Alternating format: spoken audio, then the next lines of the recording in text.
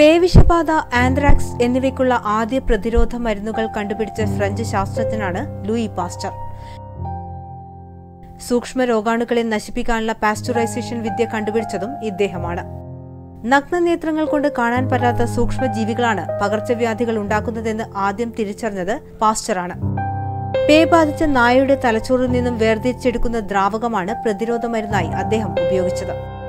മൈക്രോബയോളജിയുടെ മൂന്ന് പിതാക്കന്മാരിൽ ഒരാളായും Louis pastor അറിയപ്പെടുന്നു. രസതന്ത്രത്തിലും ഇദ്ദേഹം ധാരാളം കണ്ടുപിടുത്തങ്ങൾ നടത്തിയിട്ടുണ്ട്. ആയിരത്തി എണ്ണൂറ്റി തൊണ്ണൂറ്റി അഞ്ചിൽ സെപ്റ്റംബർ ഇരുപത്തിയെട്ടിന് പാരീസിൽ വെച്ച് അദ്ദേഹം മരണപ്പെട്ടു. ഊട്ടിയിലെ കുത്തിവെപ്പ് മരുന്ന് നിർമ്മാണ കേന്ദ്രം അദ്ദേഹത്തിന്റെ പേരിലാണ് നാമകരണം ചെയ്യപ്പെട്ടിട്ടുള്ളത്. കാലിഫോർണിയയിലെ റാഫേലിൽ അദ്ദേഹത്തിന്റെ പ്രതിമ സ്ഥാപിച്ചിട്ടുണ്ട്. പല രാജ്യങ്ങളിലെയും റോഡുകളും തെരുവുകളും അദ്ദേഹത്തിന്റെ പേരിലാണ് നാമകരണം ചെയ്യപ്പെട്ടിട്ടുള്ളത്. പലസ്തീൻ രാഷ്ട്ര രൂപീകരണത്തിനു വേണ്ടി ഉടലെടുത്തതാണ് ഓസ്ലോ ഉടമ്പടി. അമേരിക്കയുടെ മധ്യസ്ഥതയിൽ ഇസ്രായേൽ പ്രധാനമന്ത്രി ഇസാഖ് റാബിനും വിദേശകാര്യമന്ത്രി ഷിപ്പോൺ പെരസും കൂടി പലസ്തീൻ നേതാവ് യാസർ അറാഫത്തുമായി നോർവേയുടെ തലസ്ഥാനമായ ഓസ്ലോയിൽ നടത്തിയ രഹസ്യ ചർച്ചകളിലാണ് ഈ ഉടമ്പടി രൂപപ്പെട്ടത്. ആയിരത്തി തൊള്ളായിരത്തി അറുപത്തിയേഴിലെ യുദ്ധത്തിൽ ഇസ്രായേൽ കയ്യേറിയ സ്ഥലങ്ങളിൽ നിന്നും പിന്മാറി ഗാസയും വെസ്റ്റ് ബാങ്കും ചേർന്ന് പലസ്തീൻ രാഷ്ട്രം രൂപീകരിക്കുമെന്നതായിരുന്നു പ്രധാന വ്യവസ്ഥ. ആയിരത്തി തൊള്ളായിരത്തി തൊണ്ണൂറ്റിയഞ്ച് സെപ്റ്റംബർ ഇരുപത്തിയെട്ടിന് വാഷിംഗ്ടൺ ഡി സിയിൽ വെച്ച് American president Bill ക്ലിന്റന്റെയും Russia Egypt Jordan Norway European Union എന്നിവയുടെ പ്രതിനിധികളുടെയും സാന്നിധ്യത്തിൽ ഇസ്രായേൽ പ്രധാനമന്ത്രി ഇസാഖ് റാബിനും പി എൽഒ ചെയർമാൻ യാസർ അറാഫത്തുമാണ് രണ്ടാം ഓസ്ലോ ഉടമ്പടിയിൽ ഒപ്പുവെച്ചത്.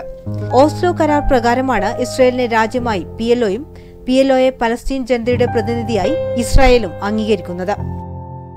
ഒന്നാം ഓസ്ലോ കരാറിന്റെയും ആയിരത്തി തൊള്ളായിരത്തി തൊണ്ണൂറ്റിയഞ്ചിലെ രണ്ടാം ഓസ്ലോ കരാറിന്റെയും അടിസ്ഥാനത്തിലാണ് മേഖലയിൽ സമാധാനത്തിനായുള്ള ഓസ്ലോ പദ്ധതി ആരംഭിക്കുന്നത്.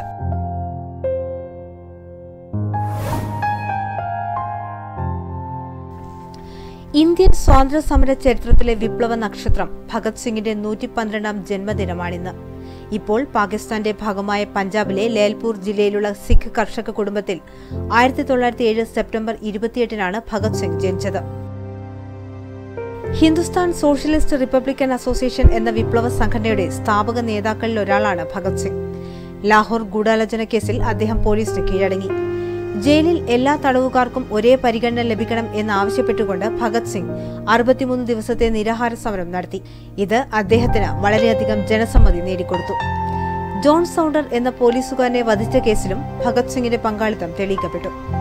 ലാഹോർ ഗൂഢാലോചന കേസിൽ ഭഗത് സിംഗിനെ വിചാരണ ചെയ്ത് വധശിക്ഷയ്ക്ക് വിധേയനാക്കി.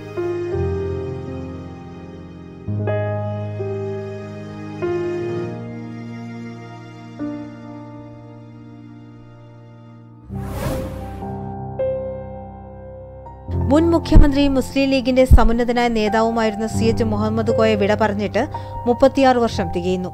ആയിരത്തി തൊള്ളായിരത്തി എൺപത്തി മൂന്ന് സെപ്റ്റംബർ ഇരുപത്തിയെട്ടിന് മന്ത്രിതല യോഗത്തിനു വേണ്ടി ഹൈദരാബാദിൽ പോയപ്പോഴായിരുന്നു അന്ത്യം. ആയിരത്തി തൊള്ളായിരത്തി അറുപത്തിയേഴിലെ ഇ എം എസ് മന്ത്രിസഭയിൽ വിദ്യാഭ്യാസ മന്ത്രിയായിരുന്നു അദ്ദേഹം.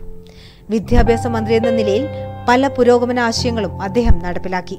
കേരളത്തിലെ കുട്ടികൾക്ക് പത്താം ക്ലാസ് വരെ വിദ്യാഭ്യാസം സൗജന്യമാക്കിയത് സി എച്ചിന്റെ കാലത്താണ്. മുസ്ലിം പെൺകുട്ടികൾക്ക് ഹൈസ്കൂൾ വിദ്യാഭ്യാസത്തിന് സ്കോളർഷിപ്പ് അദ്ദേഹം ഏർപ്പെടുത്തി. പ്രാഥമിക വിദ്യാലയങ്ങളിൽ അറബി ഭാഷ ഒരു വിഷയമാക്കി. പല അറബി അധ്യാപകർക്കും ഇതുമൂലം സർക്കാർ ജോലി ലഭിച്ചു. മുസ്ലിം സമുദായത്തിൽ നിന്ന് ഒട്ടേറെ വിദ്യാർത്ഥികളെ വിദ്യാഭ്യാസത്തിന്റെ മുഖ്യധാരയിലേക്ക് ആകർഷിക്കാൻ സി എച്ചിന്റെ ഈ നീക്കങ്ങൾക്ക് കഴിഞ്ഞു.